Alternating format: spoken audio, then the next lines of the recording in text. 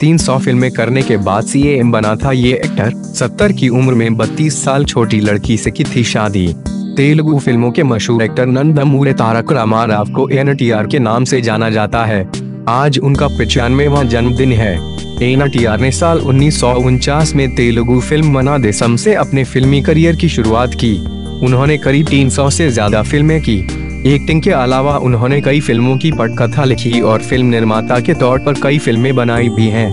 भारतीय सिनेमा में योगदान के लिए भारत सरकार ने रामा राव को साल उन्नीस सौ अड़सठ में पद्मश्री से सम्मानित किया।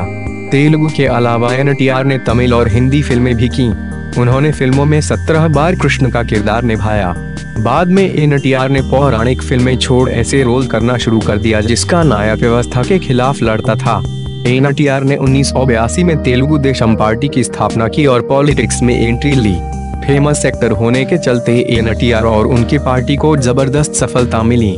इसी के साथ वो आंध्र प्रदेश के दसवें मुख्यमंत्री बने उन्नीस से उन्नीस के बीच वो तीन बार प्रदेश के मुख्यमंत्री बने।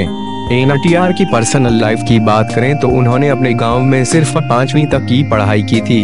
इसके बाद विजयवाड़ा में रहने वाले उनके मामा ने उन्हें गोद लिया था। यहीं पर उन्होंने नगर निगम के स्कूल से शिक्षा हासिल की। बाद में उन्होंने एसआरआर और सी कॉलेज में पढ़ाई की। एन टी रामाराव की माली हालत ज़्यादा अच्छी नहीं थी, जिससे परिवार की आर्थिक मदद करने के लिए छोटी उम्र से ही काम करना पड़ा।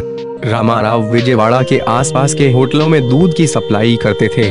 जो पैसे उन्हें मिलते थे, उससे वो परिवार की मदद करते थे। 1942 में रामाराव ने अपने मामा की बेटी बासव तारकम से शादी की थी। एनटीआर के आठ बेटे और चार बेटियाँ थीं। 1985 में उनकी पत्नी का निधन हो गया था। उन्नीस सौ तिरानवे में 70 साल की उम्र में रामाराव ने तेलुगु लेखक लक्ष्मी पार्वती से शादी की थी, लेकिन एन के परिवार ने लक्ष्मी को कभी भी स्वीकार नहीं किया। एन का बेटा जूनियर एनटीआर साउथ की फ़िल्मों में जाना माना नाम है। राजनीतिक जीवन में रामा राव को काफ़ी मुश्किल भरे दिन देखने पड़े। दामाद चंद्र बाबू नायडू ने एनटीआर को सीएम और पार्टी अध्यक्ष दोनों पदों से हटा दिया था। अपनी दूसरी पत्नी लक्ष्मी पार्वती के साथ रामाराव एक तरफ़ थे और दूसरी तरफ़ उनका भरा पूरा परिवार उनके खिलाफ था।